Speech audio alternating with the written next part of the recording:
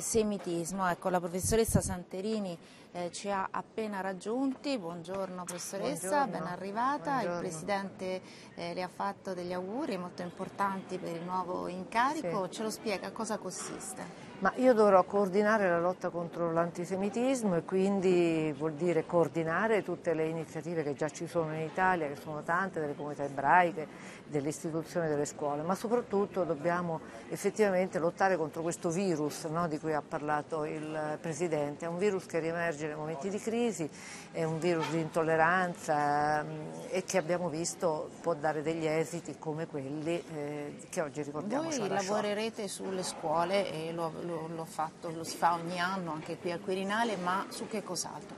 Allora, io vorrei lavorare, noi lavoreremo sul- molto sul web, su internet, perché eh, è una delle sedi dove l'odio dilaga più facilmente ed è molto importante appunto lì contrastare dal punto di vista razionale ma anche emotivo eh, l'intolleranza e i pregiudizi. Vorremmo lavorare anche nel mondo dello sport.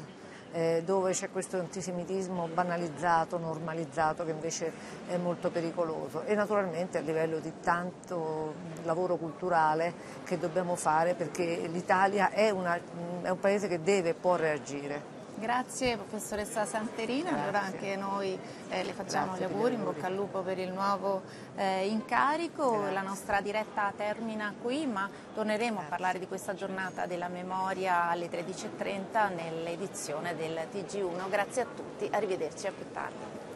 Grazie, riesco a